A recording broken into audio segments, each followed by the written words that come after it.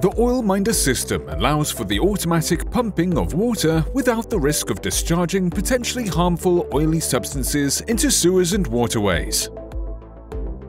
By measuring the conductivity of the liquid in the sump, Oil Minder can distinguish oil from water.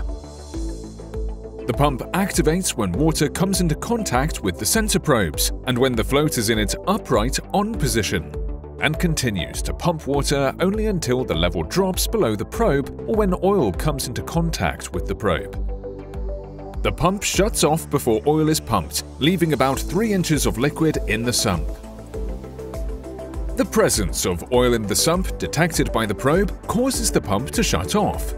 If the water level in the sump rises and the oil level exceeds the detection probe, the pump operates until the water is pumped down. The oil, once again in contact with the probe, causes the pump to stop.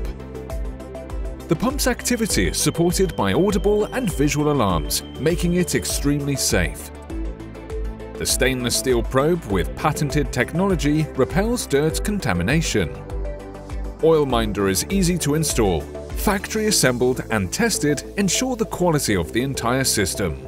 OilMinder systems can also be customized to meet your unique application conditions and communications requirements.